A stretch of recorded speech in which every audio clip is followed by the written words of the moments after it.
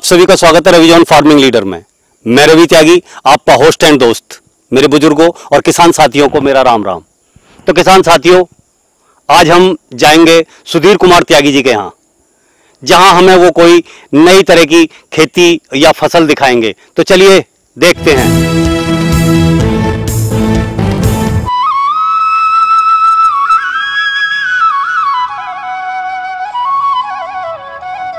किसान भाइयों हमारे चैनल को सब्सक्राइब करें और घंटी के बटन को ज़रूर दबाएँ।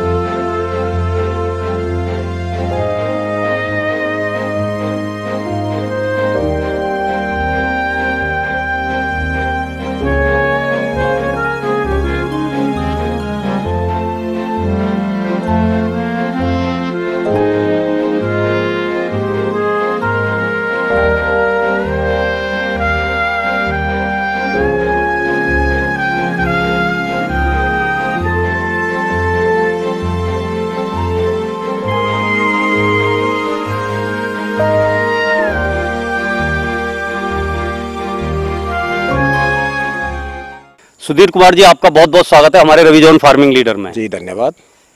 आप हमारे चैनल पर जब भी आए हैं आपने कुछ ना कुछ किसान भाइयों के लिए अलग ही खेती के बारे में बताया है। बिल्कुल। पीछे आपने चुकंदर पैदा किया था जी। और बड़ी अच्छी पैदावार हुई। जी। और आपके मार्गदर्शन में जी। गाँव में बहुत सा चुकंदर बोया गया। जी। और इस साल भी मुझे लग रहा है कि बहुत लोग चुकंदर बोएँगे। बिल्कुल बिल्कुल बोएँगे। तो अब आपने जो ये खेती की है ये क्या है? इसके बारे में किसान भाइयों को बताएँ। हाँ मैं ये बता दूँ कि इसको जो है जो ग्रामीण भाषा में मोस्टली सुकलाई कहते हैं। जी। और इसको अलग अलग क्षेत्रों के हिसाब से अलग अलग इसके नाम होते हैं जैसे इसको दोला भी कहते हैं। जी। और इसका एक मुसर दाना भी इसका नाम है। अच्छा मुसरदाना भी कहते मुसर हैं। दाना भी इसको कहते हैं। और ये अलग अलग क्षेत्रों के जहाँ गन्ना क्षेत्र ज़्यादा होता है तो वहाँ ये बोया जाता है तो अलग अलग क्षेत्रों में इनके और भी नाम हैं। जी। तो ये सुकलाई के नाम से ज़्यादा प्रचलित। तो भाई साहब आपने इस फ़सल का नाम बताया। जी। अब इसकी उपयोगिता क्या है हमारे जीवन में और ये किस काम में आता है और इसकी किस किस चीज़ में कंजप्शन है? ये मैं आपको बता दूँ विस्तार में बताऊँगा। ये दरअसल जहाँ कोल्लू होते हैं जहाँ गुड़ बनाया जाता है जी। ये वहाँ गुड़ को तैयार करने में इसका जो उपयोग किया जाता है। जी। होता क्या है कि गुड़ को तैयार करने में जहाँ कार्बोहाइड्रेट और उसकी निखारी या उसकी चमक के लिए जहाँ केमिकल इस्तेमाल किया जा रहा हो जी। वहाँ ये एक तरह से प्राकृतिक केमिकल है।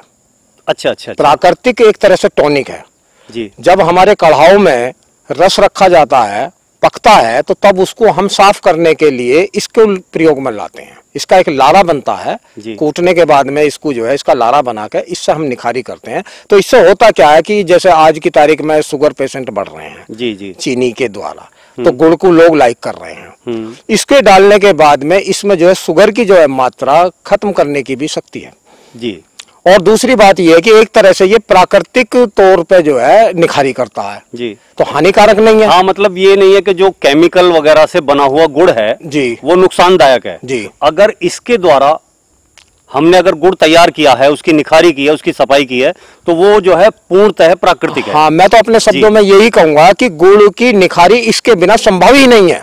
अच्छा। हाँ ये प्राकृतिक जो हमारा जो है गुड़ को साफ़ करने के लिए चमक करने के लिए उस पर गुड़ पे जो है चमक लाने के लिए उसे साफ़ सुथरा बनाने के लिए इसके बिना संभव ही नहीं है। अच्छा ये इसकी जो है प्रेजेंटेशन बहुत ज़रूरी जी है। बिल्कुल बिल्कुल।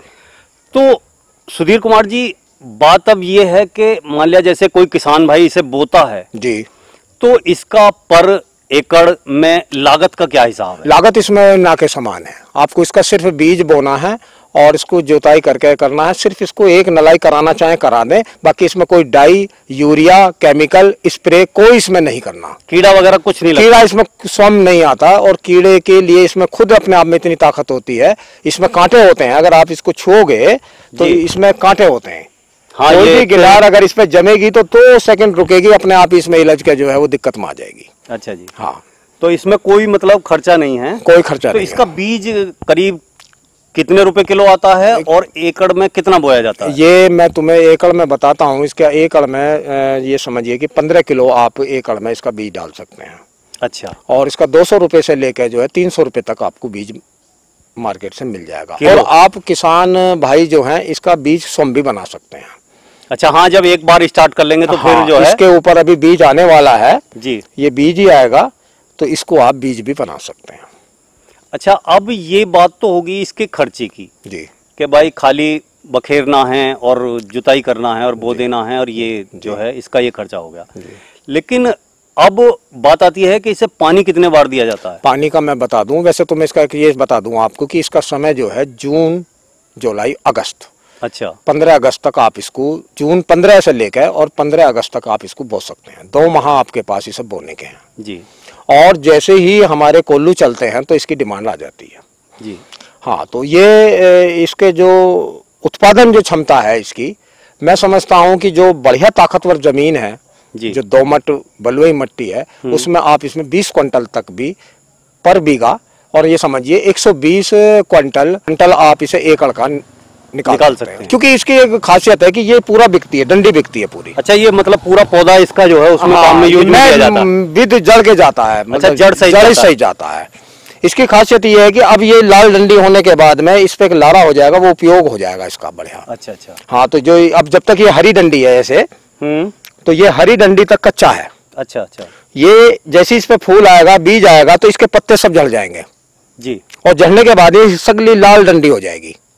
लाल कलर में आ जाएगी रेड कलर में। बिल्कुल। उसके बाद ये जो है बहुत ही मतलब उपयोग के लायक हो जाएगा। हाँ, बहुत ही बढ़िया और ये गुड़ में जो है। जैसे आपने इस दौले के बारे में किसान भाइयों को बताया जी। अब अगर तैयार हो जाता है तो ये आप किसान जो है कहाँ सेल करे? इसकी मंडी कहाँ है? जी बिल्कुल बिल्कुल ये बहुत अच्छा सवाल है आपका। जी। और ये ज़रूरी भी है कि कोई चीज़ हम पैदा कर रहे हैं तो उसको पहले हम कहाँ सेल आउट करेंगे तो ये बहुत ज़रूरी है। जी जी। देखिए इसके तीन तरीके हैं। जी। कभी कभी तो ऐसा होता है कि आपके खेत में खड़े हुए भी जो है कुछ पैकार आ जाते हैं जो खड़े खेत को खरीदने मतलब खड़े खेत को ही खरीद खड़े खेत को भी खरीद लेते हैं। बहुत अच्छा। और वो आपका बहुत ही बढ़िया एक बिक्री का साधन है। जी। दूसरा तरीका ये है कि जहाँ भी गन्ना क्षेत्र में कोल्लू क्रेशर होते हैं हम पर्सनली तौर पर अपने व्यक्तिगत रूप से जाकर उधर उन लोगों से संपर्क करके और थोड़ा थोड़ा वहाँ हम क्रेशर और कोल्लू पे दे के उनको हम अपना सेल आउट कर सकते हैं। वहाँ पे भी हमें अच्छा पैसा इसका। तो ये दूसरा तरीका होगा। और वो हाँ। तीसरा तरीका क्या है? तीसरा तरीका ये है कि जहाँ भी गन्ने का क्षेत्र है और कोल्लू चलते हैं जी। तो वहाँ इसकी मंडी अवश्य होती है। गुड़ मंडी। गुड़ मंडी में ही इसकी जो है सुकलाई और दोला मंडी भी होती है। उसके। भी बिक्री वाले जो है विक्रेता होते हैं। जी। और सबसे बड़ी बात यह की पश्चिम यूपी में गन्ने का क्षेत्र बहुत बड़ा है। जी। तो मैं समझता हूँ पश्चिम यूपी में बहुत बड़ी मंडी है जहाँ मुजफ्फरनगर जो है इसकी बहुत बड़ी सेल होती है। दूसरे नंबर पे जो है पश्चिम यूपी में हापुड़ की गुड़ मंडी पे भी इसका जो है सेल आउट होती है वहाँ बिकी और छोटी मंडी जैसे सियाने हैं वहाँ भी ये सियाने में भी इसकी सेल हो सकती है। जी जी जी बिल्कुल। तो सुधीर कुमार जी जैसा कि आपने मंडी भी बताई और ये इस तरीके से सेल होता है तो अब इसका जो रेट है वो कैसे डिसाइड होता है और किस तरीके से चलता है देखिए ये जब शुरुआती दौर होता है इसका जैसा अब कोल्लू चले हैं जी। क्योंकि गन्ने में रिकवरी आई है तो अब कोल्लू चले हैं जी जी। क्रेशर चले हैं तो शुरुआती दौर में चूँकि ज़्यादा होती है ये और हमें गेहूँ बोने के लिए ये खेत खाली करने होते हैं। तो मंडी में दबाव होता है इसका। तो फ़िलहाल की स्थिति में दस रुपए किलो मतलब एक हज़ार रुपये क्विंटल आपकी बिक रही है फ़िलहाल की स्थिति में जो अब तो जो एक एक एकड़ है जी। एक एकड़ में ये कितना पैदावार हो जाती है इसकी? 120 क्विंटल। 20 क्विंटल बीघे का यो 20 क्विंटल मतलब 120 क्विंटल जो है आपका एकड़ में जो है ये पैदावार हो जाती है। जी।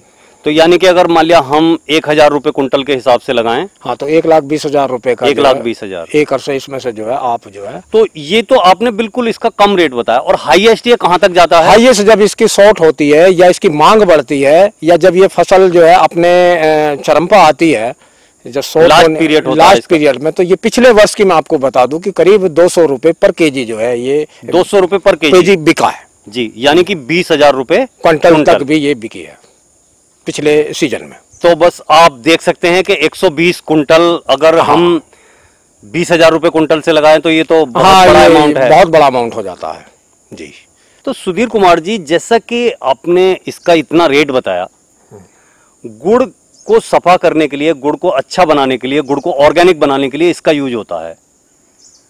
अब ये इतना महँगा है तो ये इतना महँगा क्यों है? इसका ये कारण क्या है? हाँ मैं बता दूँ चूँकि हम लोग तो किसान होने के नाते इसके बारे में इतना बहुत कुछ जानते नहीं। जी। लेकिन मैं आपको ये बता दूँ ये एक तरह से मेडिसिन प्लांट है।